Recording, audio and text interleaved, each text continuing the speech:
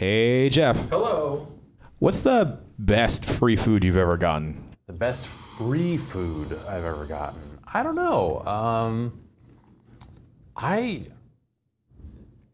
you know, like I, I uh, like to eat what I like to eat. So sometimes like free food is kind of a hassle in a weird way. Because it'll be like, oh, why don't you just get the free? It's like, oh, because it's just like it's a heap of cilantro and garbage. Ben, I understand you don't like cilantro. That's true. I have the cilantro aversion.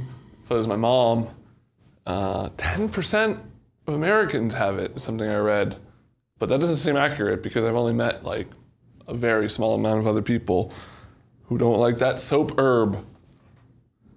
I can't stand that soapy herb. Brad, favorite type of herb? Whoa.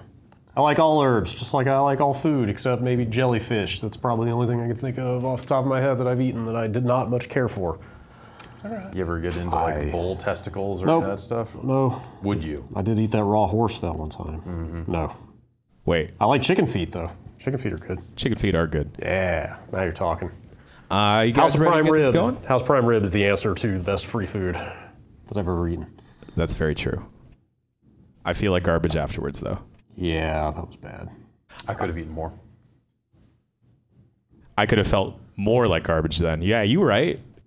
You guys ready to get this going? Sure. Yeah. All right.